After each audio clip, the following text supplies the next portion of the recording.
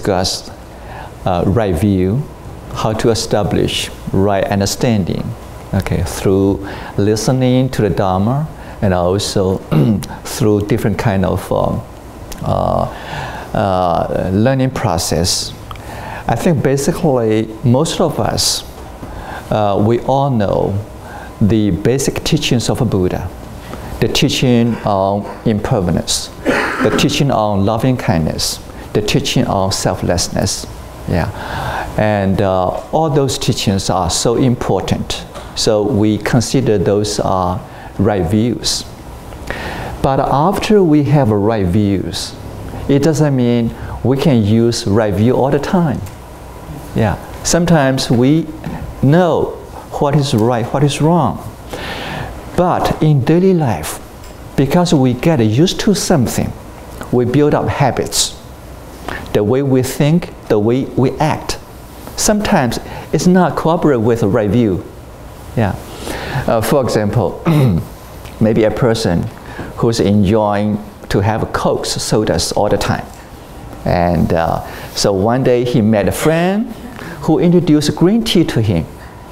Green tea is good for you. so instead of uh, drinking cokes, maybe you switch your drink to green tea. Thank you so much. So this person accepted green tea and took the green tea to home. But somehow he left the green tea in the room, continued to drink cokes. so we all may, may have chances to establish right view. We know what is right. and uh, we feel we already learned this part. But somehow, how to apply those right view in daily life become your own thinking. When we say thinking, that means you actually use it. You are not just simply understand it. You use it when you think. You develop this kind of a view in your daily life. Okay. I remember some years ago, one, one day uh, a member called me. He said, Venerable Hung I, would you please call this lady? She's a member of the temple. Right now, she's so angry with someone. They argued for uh, some time. She's so mad. Would you please talk to her? I said, I will. Yeah, because I knew this lady for a long, long time. So that evening, I called this lady. I said, please calm down. Please be calm. Don't be angry. Okay. You know what she said to me? Venerable Yi, today, no more Dharma. Don't continue to talk Dharma to me today because I feel I have the right to be, uh, to be angry. So sometimes when we face some uh, situation, we couldn't control ourselves to use the right view to guide ourselves. The way we think maybe is still the same. So after right view, Buddha said the next step is build up right thinking. Be able to use right view as a way of your thinking, as a way of your uh, action. so right thinking, uh, basically, that is the part how to use right view as the way we actually thinking in daily life. Okay, and today I wanted to use uh, a sutra. This sutra is related with uh, Venerable Anuruddha. So the sutra of Anuruddha's eight mindfulness. I couldn't find any English translation of this sutra. It's still in the uh, baskets in Chinese. So when I studied this uh, sutra, I discover there's one part actually Buddha taught Anuruddha and other disciples about Eightfold Path, the contents, how to uh, actually understand the, uh, uh, the practice of Eightfold Path. So today I wanted to uh, use the part of teaching as contents to introduce how can we think correctly how can we use right thinking in daily life? what kind of purpose that we have to set up and also make plan to reach those uh, goal. According to this uh, sutra, Anuruddha's uh, eight mindfulness. Do you know who's Anuruddha? Venerable Anuruddha. He's one of the cousin of Buddha. So after Buddha achieved enlightenment, um, uh, uh, then Anuruddha became a monk. He was very diligent. Yeah. And uh, one day he was meditating in a place. Then he discovered there are eight kind of a mind, uh, seven kind of a mindfulness he should practice in daily life. Then Buddha add one more mindfulness. So total are eight mindfulness. But today we're not going to discuss those eight, eight uh, mindfulness. I just wanted to use the part right thinking according to this sutra. What are the right thinking? What are the right thoughts? Sometimes we translate this part into thoughts or thinking. And when we think about right thinking, what are the uh, uh, contents of those practices? According to the sutra, there are two kinds of right thinking, two kinds of right thinking. One is worldly thinking, worldly thinking. The thinking related with uh, uh, daily life as a human being. As a human being, which way we should be thinking. Okay. Also, there's another part, non-worldly thinking. And uh, sometimes we may trans, uh, translate it, uh, this thinking into transcendental thinking. Okay, transcendental thinking. That means you wanted to liberate from all kinds of afflictions. Yeah.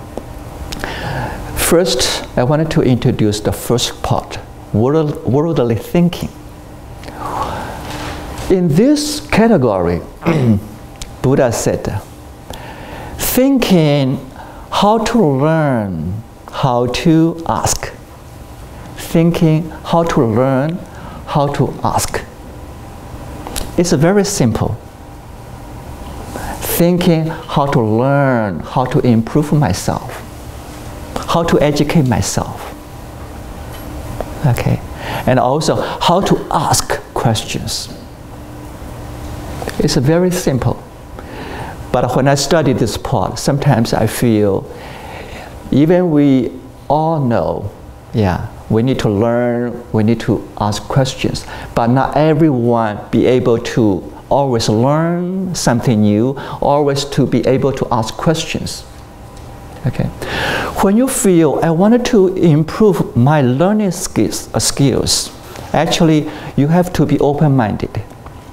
You wanted to open your mind. You wanted to be humble. When I think I wanted to learn, that means I treat others like, like teachers. I will listen to you. I wanted to learn from you. I wanted to open my mind, uh, empty my mind. So that is uh, something we need to be uh, uh prepared for. Okay, and also be able to ask questions. Uh, it's not easy for everyone. Sometimes I ask the audience, do you have any questions? Many people will raise, that's wonderful. But some people, they don't know how to ask. Okay, like my sister, my uh, sister, my brother. Every time when I back to Burma, I visit a family, uh, my family, and uh, because I wanted to talk to my sisters uh, and also brother, so family members, young or old. I try to ask, you know, questions, let them answer, so we can create conversations. But they never ask me question about the Dharma. So people ask me, when you visit your family members, what do you want to accomplish? What is your, your, your goal when you talk to them? I said, I hope they can ask questions. So I have opportunities to share my learning on the Dharma. Okay. So asking question also requires certain kind of a skill. Okay, thinking on how to learn, how to ask. That's the first one, worldly thinking. The second one is thinking how can I be friendly with others? Thinking how can I be friendly with others? Thinking how can I express my respect? How can I respect others? Actually, this attitude is very important. Every day when I have a chance to meet people, I wanted to use this kind of thinking before I meet people. How can I act friendly with others? How can I show my respect to others? Actually, this will create harmony among people. So thinking how to be friendly with others, thinking how can I show my respect to others. That is another attitude of thinking. Practice right thinking. Okay. The third one is thinking. How can I always check my, my mind, my thinking, my ideas? Or how can I observe precepts in daily life? Sometimes, okay, we go through some uh, uh, service or ceremony. Oh, I wanted to uh, observe five precepts. After the ceremony, we may not be able to think on those precepts all the time. In this sutra, Buddha said, actually, after we accept those precepts, you wanted to use those precepts as guidance in your daily life. Always checking, observing, how am I talking? How am I doing? How am I thinking? Okay, that is uh, uh, the third one. Um, and in Chinese translation, actually, uh, we use two words. That means very careful attitude, very careful about what you are doing, very careful. Always try to uh, eliminate your mistakes. That those are the original translation. Very careful. And also find a way to eliminate your own mistakes, prevent mistakes. Okay. the last one of worldly thinking is no harm to others. No harm. No harm to others. And uh, uh, I think uh, people in this room, we never wanted to harm others. Okay? And uh, we wish everyone will be fine, will be healthy, will be, you know, in a good uh, situation. but we still have to be careful when we have anger inside us, when we have jealousy inside us. Sometimes the, the will of your mind may not be perfect. Yeah. And uh, uh, when the situation is getting more serious, then people will do something uh, with evil action to harm others. Okay. And for this part, um, I do want you to uh, observe uh, a lot of phenomena in the society. Yeah people, we all wanted to be rich, we wanted to be successful. We wanted to uh, accomplish the goal we hope, okay, where we can accomplish. Because of this competition, people in the society, sometimes we compete with others. During this competition, and uh, it's difficult to observe this part, thinking no harm to others, especially in political situation. political situation is difficult to practice this part. But uh, we all know that uh, if a society, a nation, that wishes to create better environment for people to live and to take care of each other actually, even we compete with others, we still have some kind of attitude how to eliminate, to harm others. Uh, later, I'm going to save some time for all, uh, for yeah, for uh, for you to maybe to share some thoughts for this part. No harm to others. Okay, and as a monk, I lived in Houston for many years, and uh, uh, even uh, uh, myself, I still wanted to watch carefully, watch my mind carefully.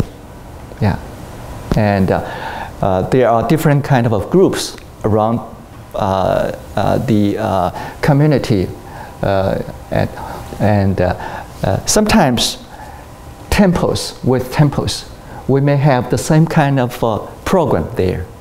And how can we live peacefully with each other? Do not harm others. Also, a kind of uh, uh, thinking in my mind all the time. We wanted to support each other to create a harmony among temples. We don't want to do anything to harm other groups. Okay. And uh, for individuals, I do hope that uh, in daily life, uh, do our best and uh, use this thinking, no harm to anyone around us. Also, we wanted to establish one of the vow because of my existence. So people around me will be safe because of me because I'm here. So people around me can be safe, can be feel joyful. Uh, that is another attitude. I'm not just no harm to others.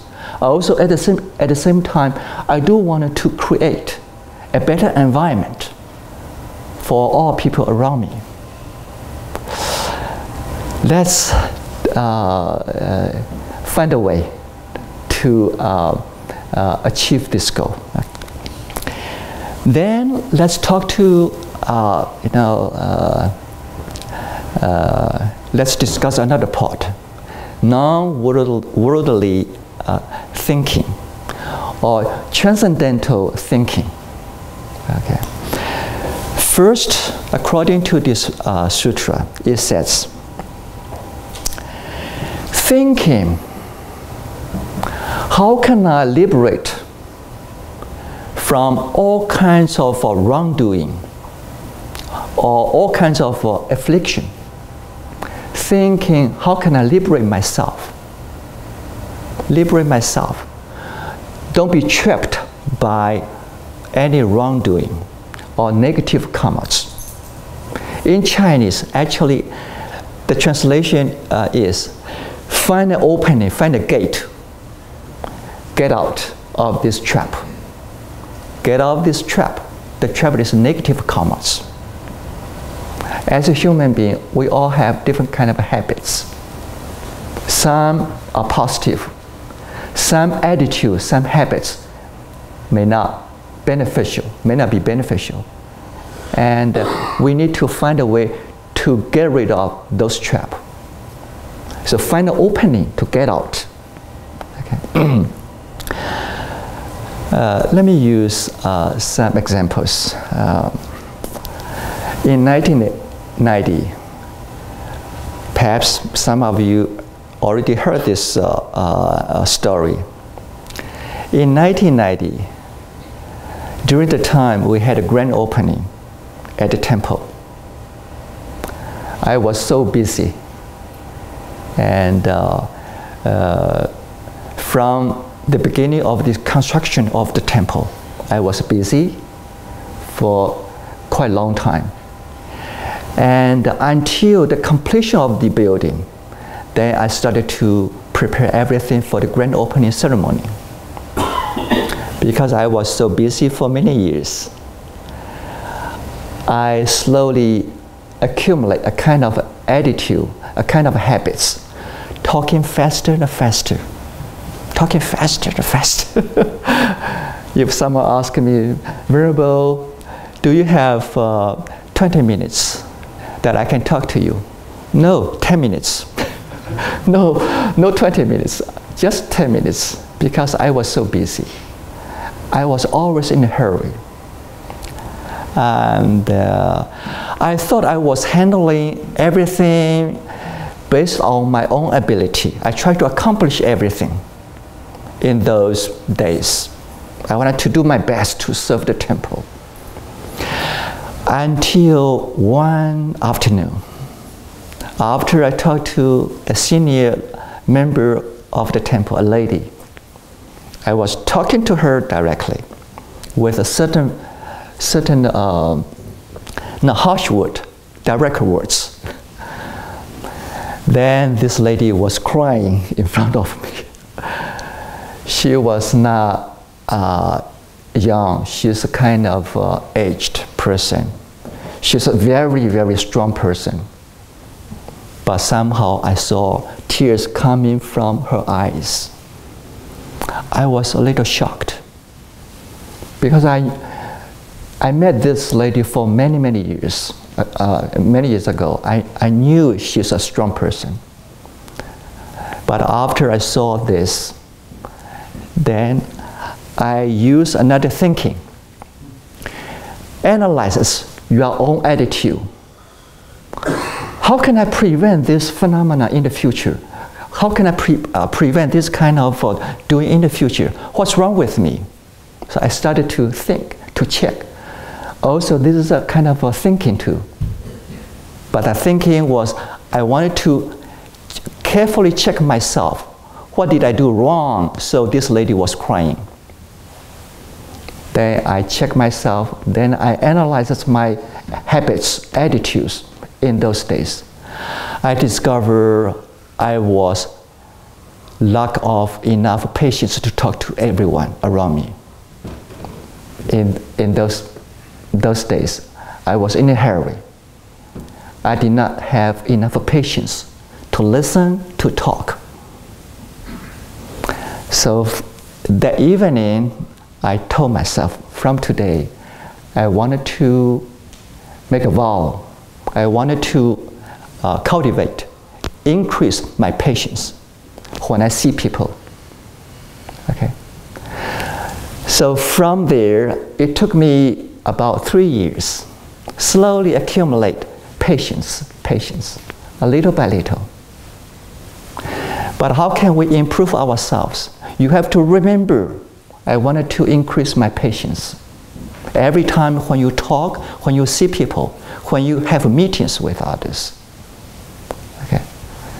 So for this part, actually having patience is a gate for me to go through, to liberate myself from impatience.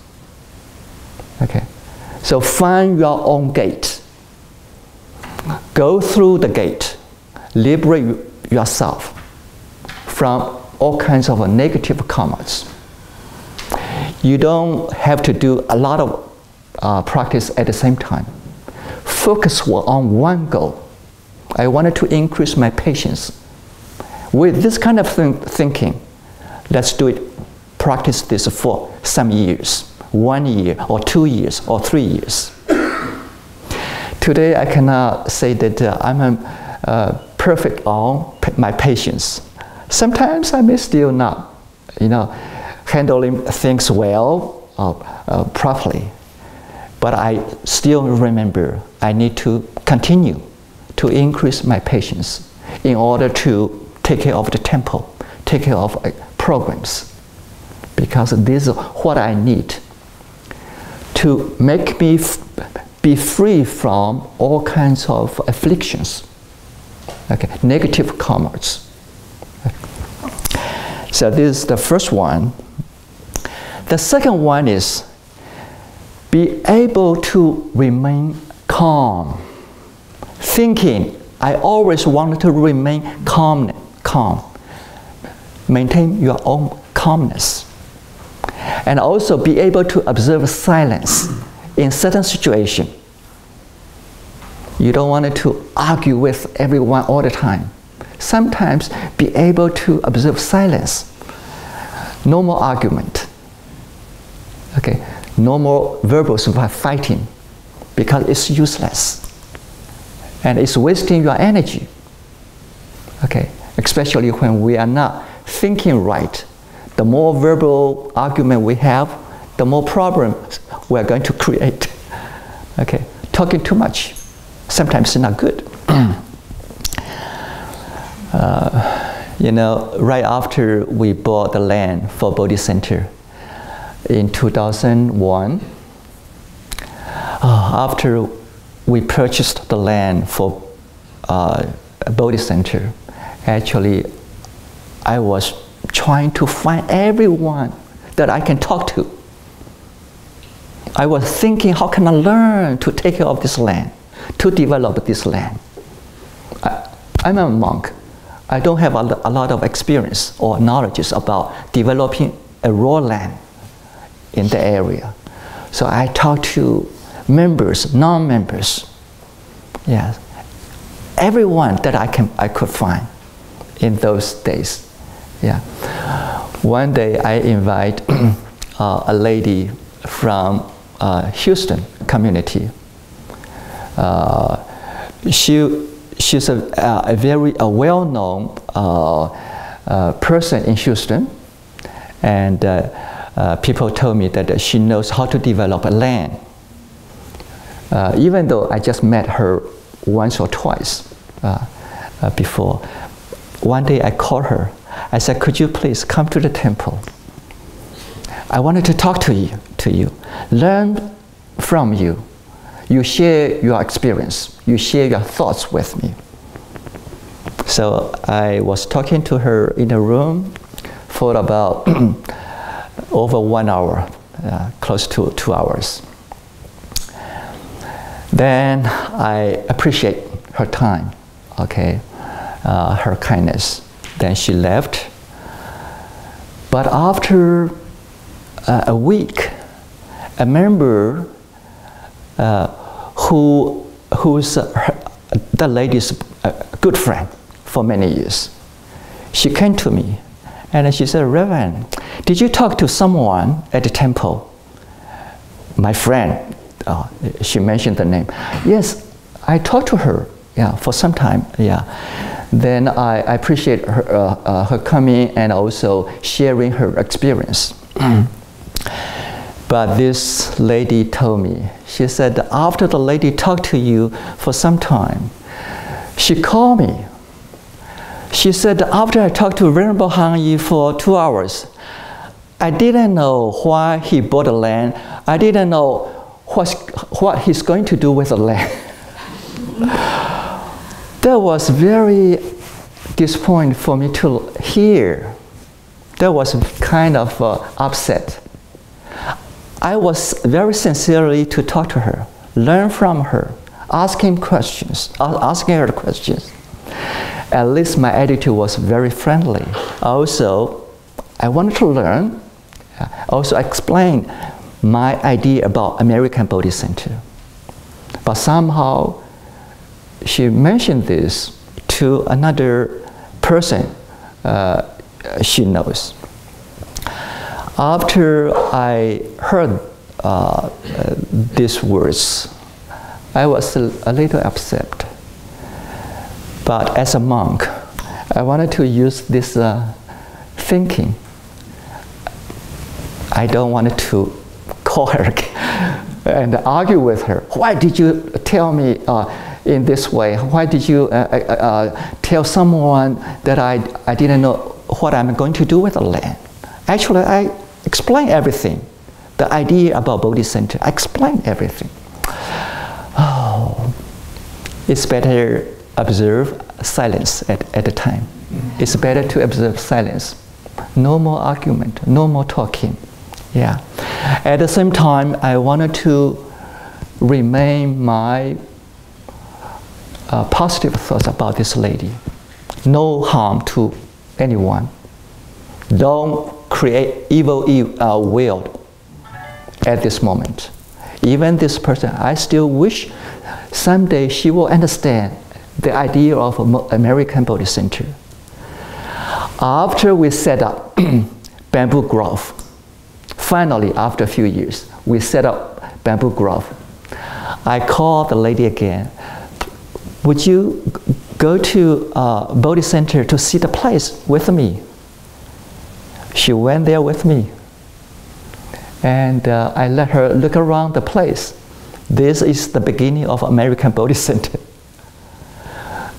You don't have to use words to explain, to, you know, to uh, tell her everything. Just show her what we, we were doing over there. Yeah. So sometimes we are facing different kind of uh, phenomenon. Different people create different kind of uh, uh, expression uh, based on their own understanding. Uh, we don't have to always uh, explain, argue. We wanted to observe silence and also be able to maintain our calmness. Actually, that means don't be easily disturbed by other people. Don't be easily disturbed by other people. That is the, uh, uh, uh, the thinking of non-worldly level. Don't make yourself in a situation easily disturbed by others. And uh, uh, sometimes people say some words, okay, before you, maybe behind you. After they say those words, maybe they forget. They don't remember. But somehow, we, the person, we, uh, the people who listen to those words, if we don't like, we remember all those words for some time. It's not beneficial. It's not beneficial. Yeah, because I have seen this phenomenon all the time. Venerable Hung I, three years ago, five years ago, ten years ago, somebody said this to me. I'm still, you know, angry. I'm still, yeah, uh, feel uncomfortable. Actually, uh, it's not beneficial. Okay. Finally, in this sutra, Buddha said, another last, non-worldly worldly, or transcendental thinking is thinking on eradicate all attachments. Thinking on eradicate all uh, attachments. Actually, there are two kinds of attachments. The first one is the attachment of yourself. You feel uh, you are independent. You feel uh, you have uh, a self inside you that will last uh, forever. It's not changing forever. But actually, it's not true. We all depend on each other. Okay, if we create, uh, if we continue to develop this kind of attachment, when we love people, that's okay. We unified as one. How about someone you don't feel you wanted to talk to, then we against each other because of the, this attachment. Actually, we all depend on each other. Yeah. So this is the first attachment we need to get rid of. The second one is mine. After we have this self-attachment, then we create another attachment. This is mine. This is my temple. This is my group. This is my talk. And uh, slowly, actually, we accumulate a lot of attachments in daily life. Okay? Because this is mine. Okay? Uh, so we separate our belongings with others.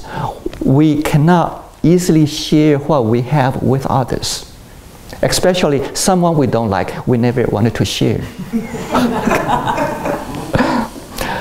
and uh, when you go to dealers, uh, recently um, uh, the temple bought a new car. You know, when you go to dealers, if you passing through dealer uh, uh, dealers uh, sell what do you call it? Huh? Showrooms. Showrooms you feel there are so many new cars. None of the cars are yours. It's okay. You don't never you never pay attention. You don't worry about. How, to, how about after you decided to buy a car. Select, select one car, that is your car. From that moment, you feel this is mine. Then, uh, uh, more or less, we have a kind of uh, attachment to this car. Okay, even myself. Oh, I wanted to uh, keep the car in uh, good condition. Okay, and uh, uh, use this properly. Do not harm my car. there are different kind of thinking in your mind because you feel this is mine. And uh, especially emotionally, we occupied something we love. Human relationship, okay, friendship, uh, or your position, okay, and uh, your accomplishment. Yeah, uh, this is my uh, uh, my position. This is my job. Okay, and uh, so this is another part part that we wanted to understand how to find a way to detach from this kind of attachment, mind, and uh, be able to be free and uh, make yourself uh, feel more comfortable in daily life. Okay. Finally, if we wanted to uh, simplify all those thinking, actually uh, uh, reading other books or sutras, basically there are three simple way to check our own thinking uh, which way is right, which way is wrong. Any thinking related with greed, anger, ignorance, those are negative thinking. Anything related with no greed, no anger, no ignorance, those are positive thinking. So that was very simple to understand. Um, Okay, I think uh, today, uh, let me save more time for you maybe to discuss, uh, to share your thoughts. Uh, any comments today? Yes, Daniel? Yes. Um, when we talk about these kinds of uh, lessons in wisdom, uh, we hear it and agree that, yeah, that's the truth, that's right.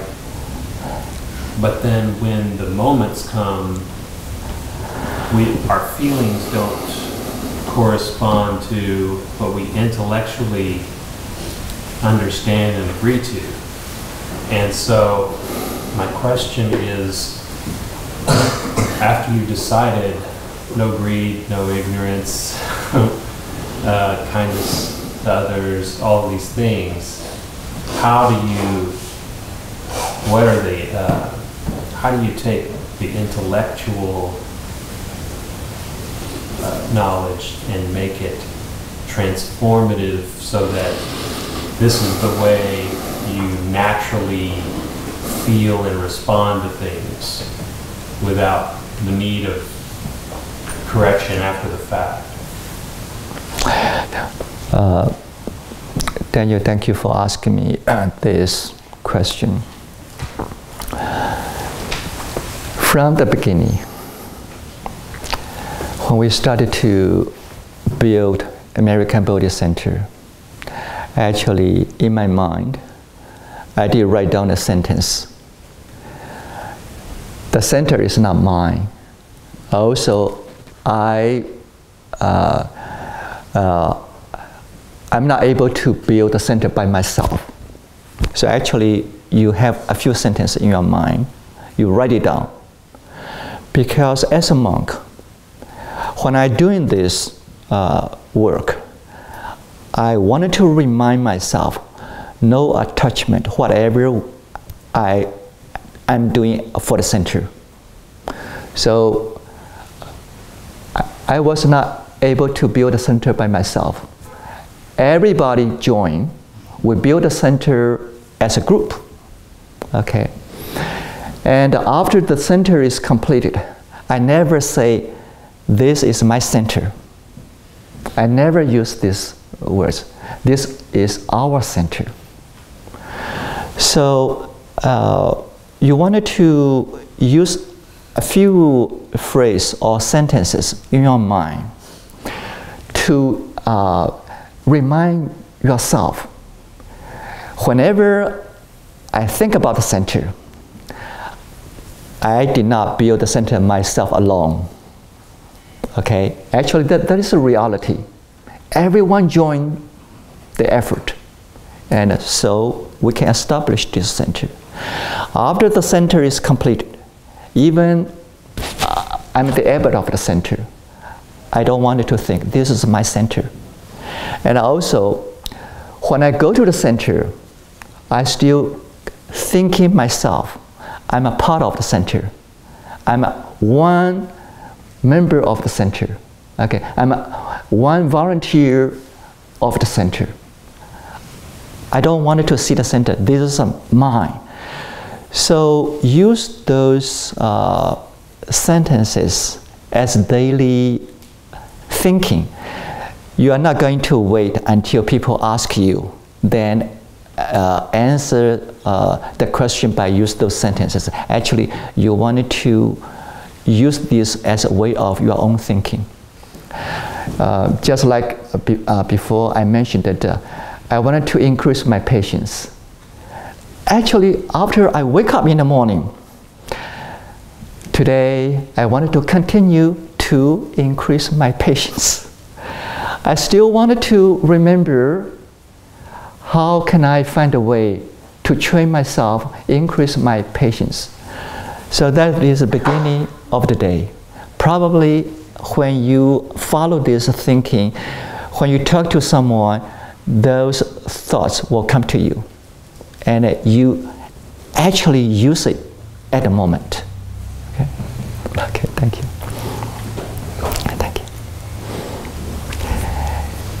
Any other